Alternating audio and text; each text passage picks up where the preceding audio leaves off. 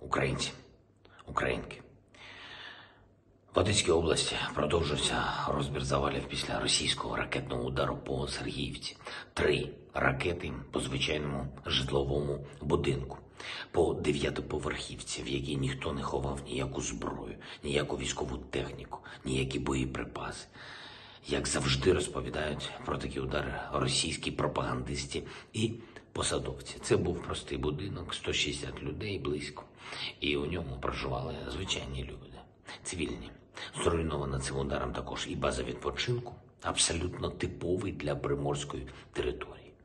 Я наголошую, це свідомий, цілеспрямований російський терор, а не якісь там помилки чи випадкове влучання ракет. Вбиті чотири людини з однієї родини. Убитий хлопець 12 років звали Дмитро. А цей час всього у списку загиблих 21 людина, близько 40 поранені. Цифри змінювалися і змінюються. Увесь день, на жаль, кількість загиблих зростає. Одночасно з ракетами по Сергіївці були запущені ракети по Затоці. Одразу 12 ракет вдарили по Миколаєву, по різних об'єктах у місті. Лише за одну ніч і ранок мої співчуття всім рідним, всім близьким, чиї життя були забрані такими ударами. Я особливо вдячний сьогодні Сполученим Штатам Америки, особисто Байдену, за оголошений саме сьогодні новий пакет підтримки для України, який включає дуже потужні системи НАСАМС, зенітний ракетний комплекс, який суттєво посилить нашу протиповітряну оборону. Ми багато працювали заради такого постачання. Загалом цей пакет важить 820 мільйонів доларів, і окрім НАСАМС, містить також боєприпаси для артилерії та радари. Не менш активно домовляємось і про іншу нову зброю від партнерів для Донбасу, для Харківської області, для півдня України. Це потрібно. Робимо все, щоб зламати перевагу окупантів.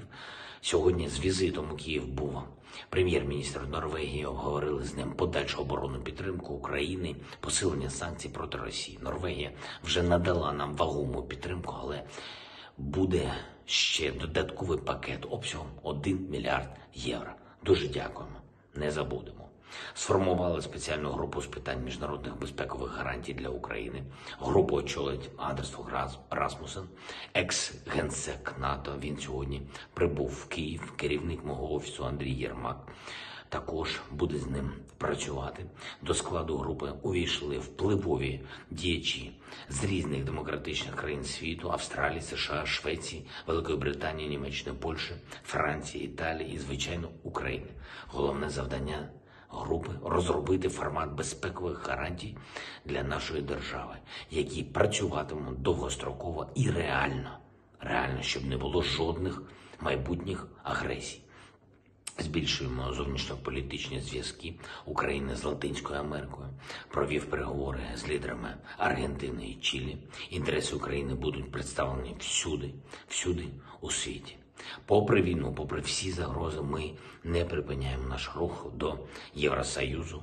Сьогодні в Верховній Раді я підписав разом зі спікером та нашим прем'єр-міністром заяву щодо європейської інтеграції. Ми зафіксували цим документом, що починаємо рухатись від статусу кандидата до повноправного членства. Я вдячний пані президенці Європейської комісії Урсулі фон дер Ляєн, яка сьогодні у своєму зверненні до Верховної Ради висловила чітку підтримку України. Ми не будемо втрачати час. Я вірю, що Україна зможе так само енергійно здобути членство, як ми здобули кандидатство. Я вдячний усім, хто допомагає сьогодні нашій державі. Вдячний усім, хто захищає нашу державу. Слава Україні!